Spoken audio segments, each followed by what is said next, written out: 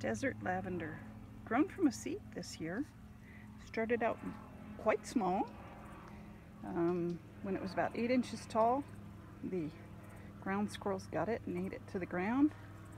And now it's regrown. And I started it in a pot because that's the easier way to start seeds. And now it is ready for transplant. And um, actually ready for use. Look at those gorgeous lavender blooms. You can make some wonderful drinks out of